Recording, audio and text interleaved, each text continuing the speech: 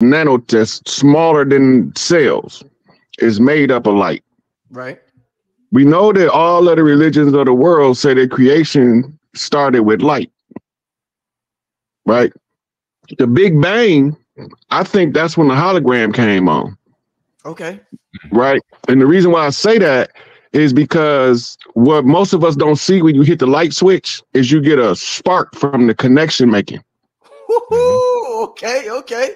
Oh, right. where you So so we we we tracing creation back to the Big Bang, Mm, right?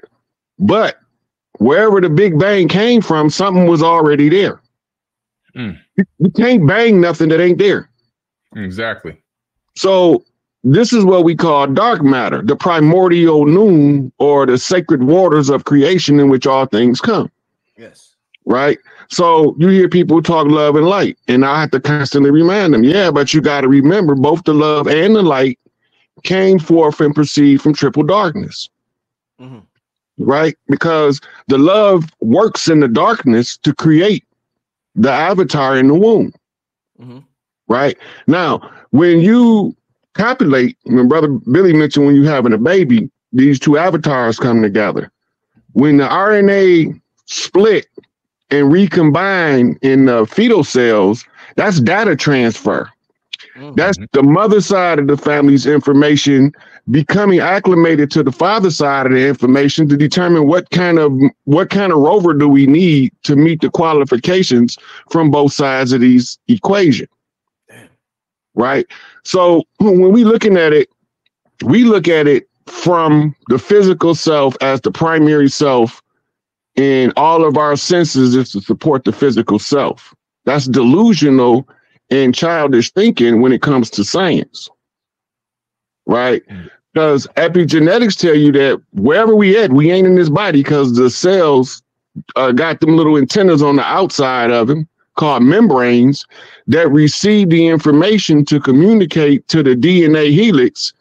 And the DNA helix gonna siphon whatever it needs from the mitochondrial energy source, which is a battery. Right, right. Every single cell got its own battery. hmm What do you need a battery for? hmm Right? We're not looking at it. It's got to be mechanical, m- a machine Yes. to require a battery to operate. Yes. hmm right? So wherever we at, we projecting here. My suspicion is the Dark Knight satellite in the moon, because the moon ain't always been there. Right, that motherfucker take off. That motherfucker is something ain't right with that motherfucker. it will. It's a whole ship. That motherfucker will take off, and you will look up, and be like, "Damn, what happened to the moon? I was just looking at a whole full moon, and it's just gone." right? But whatever it, whatever confronted, is not must not be serious enough for the moon to move. But there's some shit going on up there. I can't see it with the naked eye, but my third eye keeps seeing shit all over the sky. I'm like, what the fuck is this? Why we can't see it with the naked eye?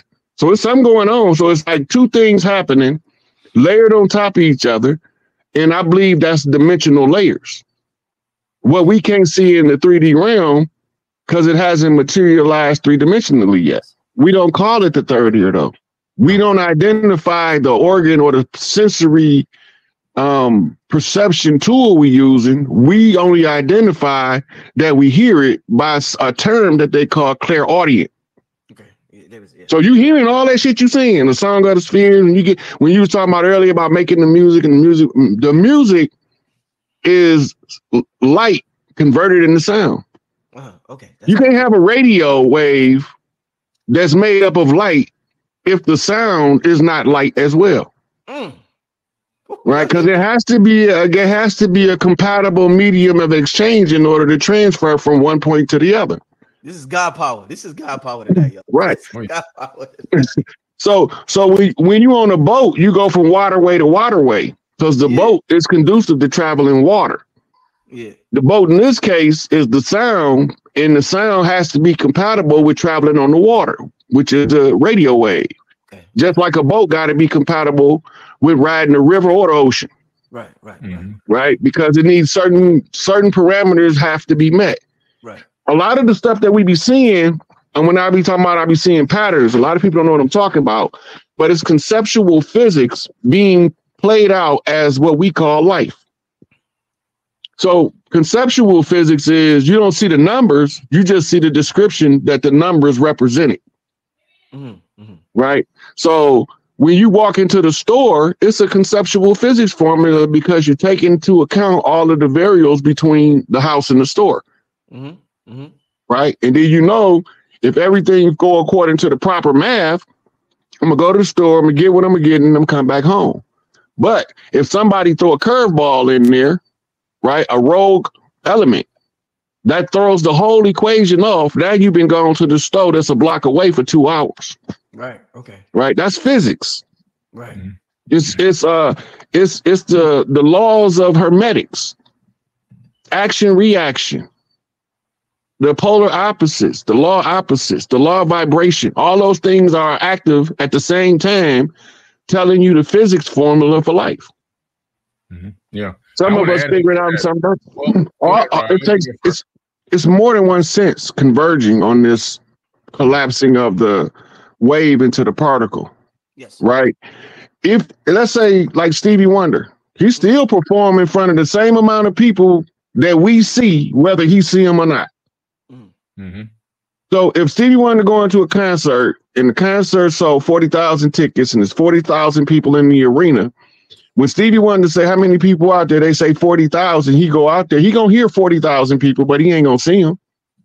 We gonna know what they look like with the naked eye, but he won't know what they look like and that's he's using his mind's eye. Rod, once I don't have the avatar, I can't see or hear. I can't. None of that. Everything's going. Oh, all the senses. outside of the, outside of the avatar, Once we die. Once we die.